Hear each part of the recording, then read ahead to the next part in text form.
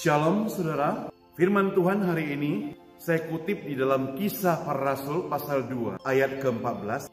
Maka bangkitlah Petrus berdiri dengan ke-11 rasul itu dan dengan suara nyaring ia berkata kepada mereka, Hai kamu orang Yahudi dan kamu semua yang tinggal di Yerusalem, ketahuilah dan camkanlah perkataan ini. Orang-orang ini tidak mabuk seperti kamu sangka karena hari baru pukul 9. Tapi itulah yang difirmankan oleh Allah dengan perantaraan Nabi Yoel. Dan ayat 17 dan seterusnya akan terjadi hari-hari terakhir demikian Allah. Di firman Allah itu khotbah Petrus.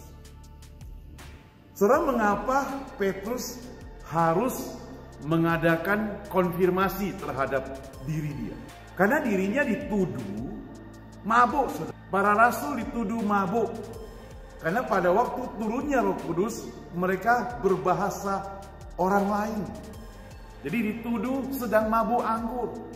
Maka Petrus mau konfirmasi keadaan mereka. Kami bukan mabuk anggur. Tapi camkanlah apa yang pernah dikatakan oleh Yoel.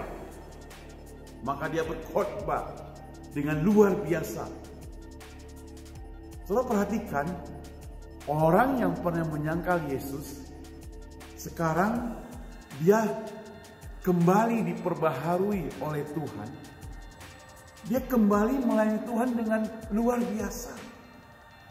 Khotbahnya itu sangat luar biasa. Sehingga apa saudara? Sampai ada ribuan orang bertobat dan dibaptis oleh Petrus. Ini yang dikerjakan oleh Petrus. Jadi saudara, dari kehidupan Petrus apa yang bisa kita pelajari? Saya mencatat di sini bahwa siapa pun kita, latar belakang apa pun kita, jangan pernah merasa hidup tidak berpengharapan. Di dalam Tuhan Yesus kita memiliki hidup yang berpengharap. Asal kita mau percaya pada dia, bertobat, perbaharui hidup kita, dan maju kembali. Tidak ada yang tidak berpengharapan. Di dalam Tuhan selalu ada pengharapan. Petrus yang sudah menyangkal Yesus tiga kali, Tuhan berikan pengharapan pada dia untuk melayani Tuhan dengan penuh semangat berkobar-kobar. Luar biasa sekali Tuhan pakai orang ini karena hidupnya benar-benar sudah diubahkan oleh Tuhan.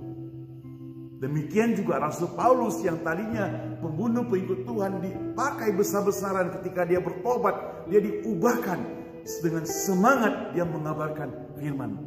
Hari ini saudara, siapa pun Anda yang mendengar renungan ini, kondisi apa pun Anda, sebejat-bejat apa pun Anda, senakal-nakal apa pun Anda, sehitam-hitam apa pun perbuatan Anda, sejelek-jelek apa pun tingkah laku Anda, asal engkau mau bertobat, asal engkau mau kembali kepada Tuhan, asal benar-benar engkau mau diperbarui hidupmu, percaya kepada Tuhan Yesus sebagai juru selamat, maka hidupmu akan di, hidupmu akan diperbaharui, hidupmu akan menjadi baru kembali, dan engkau menjadi ciptaan yang baru, yang lama sudah berlalu, yang baru sudah datang memperbaharui hidupmu.